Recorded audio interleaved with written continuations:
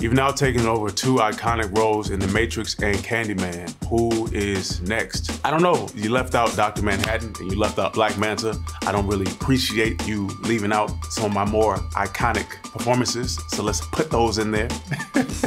Hey, what's going on? This is Yahya Abdul Mateen II. Esquires asked me to explain a couple things about my life and my career. Let's see how it goes.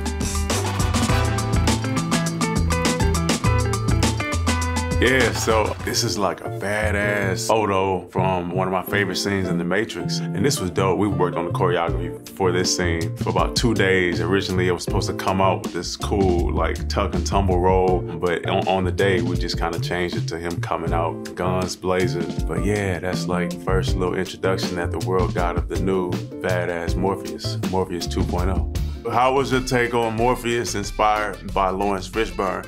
Well, I think, you know, Laurence Fishburne, he delivered such an iconic performance. And my job was to be inspired by anything that I could take from him and then add my own flair on top of that. What would be your ideal fake reality? my ideal fake reality. Whatever Instagram says I'm doing at the time. I think we all we all kind of get to live out our ideal fake reality. Some days for me it'll be like a day off.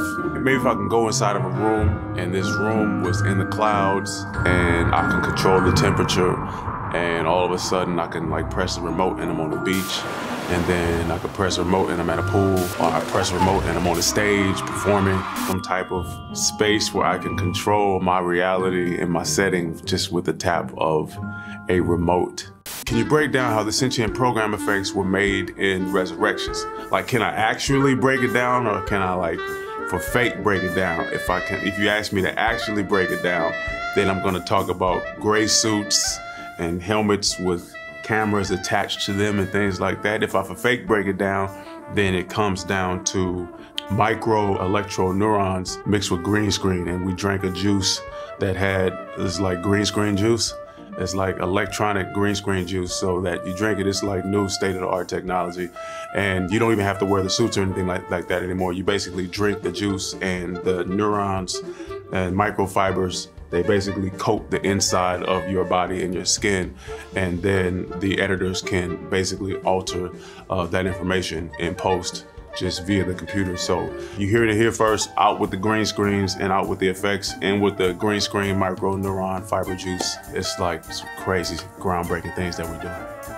What is something you've learned from working with Keanu Reeves? Man, Keanu's dope. I mean, I can say one thing, I can say five things, but the heart that he brings to work every day, he works very, very hard and he just enjoys filmmaking. You know, he works with a sense of like pride and also abandon and uh, just fun. And I have, a, there's like sirens just kind of going in the background. And I don't know if we're gonna have to stop and re-record, but I think Keanu would definitely still act through the take. So I'm gonna keep on presenting through the take, and maybe you hear the, sirens, the sirens, and maybe you don't, because that's what kind of day it is.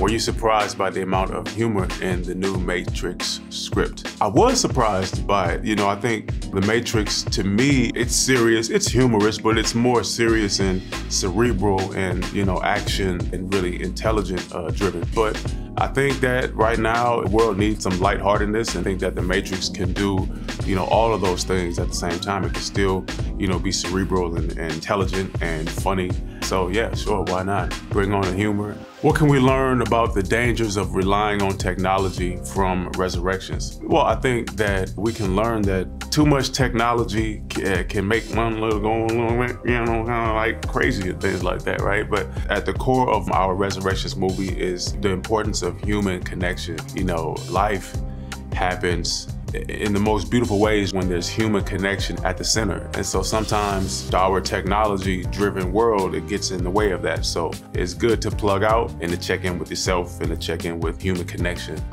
All right, hey, this is Yahya, and this is a little bit about the Matrix and myself. And thank you so much for watching. Peace.